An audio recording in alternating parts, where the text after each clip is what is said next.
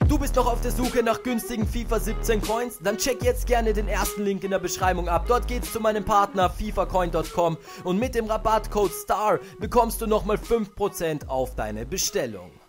Herzlich willkommen Freunde zu diesem neuen FIFA 17 Trading Tipp und für mehr Trading Tipps lasst jetzt einen Daumen nach oben da. Mich würde sehr freuen, falls wir vielleicht heute die 150 Likes packen würden und dann starten wir jetzt auch direkt rein mit der heutigen Methode. Also Qualität ist Gold, äh, Position Verteidiger und dann Premier League und dann zeige ich euch einfach mal, dass ihr jeden Verteidiger aus der BPL im Moment für 550 Coins losbekommt. Das heißt, ihr geht dann einfach runter auf 400 bzw. 450 Münzen und er sniped euch die Karten und ich würde sagen, ich mache das einfach mal vor und wir sehen uns, wenn ich dann dann direkt eine Karte bekommen habe.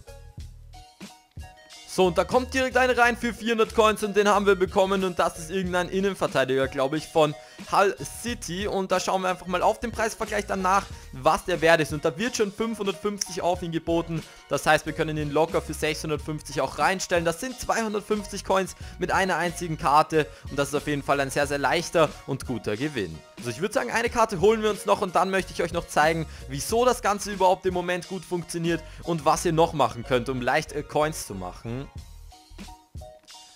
Und für 400 Coins bekommen wir den auch direkt den Innenverteidiger hier. Und ja, da gehen wir dann auch wieder einfach auf den Preisvergleich drauf. Und dann sehen wir, ja, hier wird nur 450 geboten. Den stellen wir für 550 rein. Wie gesagt, man bekommt wirklich jede Karte eigentlich auch für 600 Münzen weg, wenn man ein bisschen Geduld hat.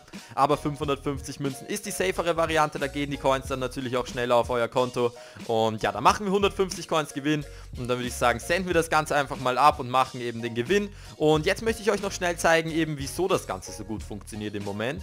Und zwar hat das Ganze genau einen Grund und zwar braucht man ja gerade bei Foot Champions BPL-Spieler und deswegen sind die BPL-Spieler einfach allgemein gestiegen, auch äh, die ähm, nicht so guten Karten, weil man die eben auch für die Bank gebrauchen kann und so weiter und so fort. Und von dem her könnt ihr auf jeden Fall auch jetzt in euren Verein reingehen und dort eure BPL-Spieler verkaufen, in die ihr auch investiert habt, also wirklich jetzt verkaufen. Und falls die Spieler nicht so krass gestiegen sind, stellt sie einfach ein bisschen überteuert rein, so 5% teurer oder so, damit ihr da auf jeden Fall keinen Verlust macht, ähm, aber ich gehe jetzt einfach auch mal in den Verein und ähm, verkaufe da ein paar Spieler von mir. Ja, wir gehen jetzt einfach mal in die WPL dann unter Verteidiger und dann schauen wir einfach mal, was für Spieler wir so haben. Und da sehen wir dann auch schon, dass hier ganz, ganz viele Spieler am Start sind, die ich einfach alle schon im Verein hatte. Die habe ich einfach immer in Packs gezogen und dann natürlich behalten. Und den Jones, den stellen wir einfach direkt mal rein. Ich bin mir jetzt nicht genau ganz sicher, was der jetzt äh, wert ist, aber ähm, den habe ich jetzt einfach mal so reingestellt, dass auf ihn geboten wird. Ranocchia ist im Moment mega viel wert. Ich glaube, da ist eine Squad-Building-Challenge draußen im Moment, aber ich bin mir gerade nicht sicher. Also,